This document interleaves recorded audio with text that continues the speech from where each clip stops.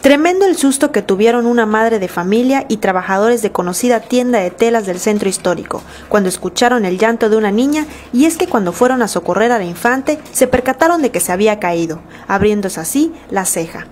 La asistencia de la Cruz Roja no se hizo esperar y de manera inmediata auxilió a la pequeña de tres años.